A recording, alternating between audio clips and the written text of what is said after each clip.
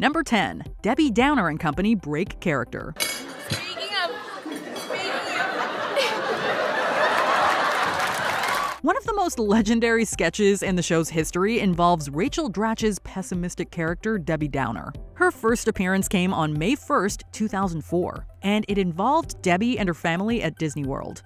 The sketch is famous because everyone loses their composure and tries their absolute darndest to contain their laughter. It does not work, not even a little bit. Various parts of this bit were reportedly not fully planned by the cast, including the famous trombone sound. can't